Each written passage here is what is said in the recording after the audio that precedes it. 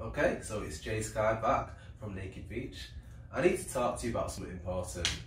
A lot of people doubt who they are and their true potential. Sometimes you'll give someone a compliment and they won't even accept it. They'll be like, oh, you're just saying that, or they just don't believe it about themselves. And I want to ask you, why do you doubt who you are? Why don't you see how beautiful you are?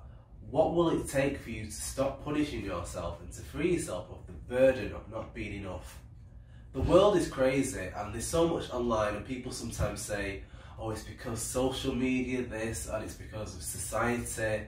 But we're responsible for our actions and we're doing it to ourselves. It's okay to be an individual. It's okay to not look like what you see online and on telly and in the street. It's okay to be yourself. And I think that our differences are what make us beautiful. So next time you look at yourself in the mirror and you don't see someone else, see yourself.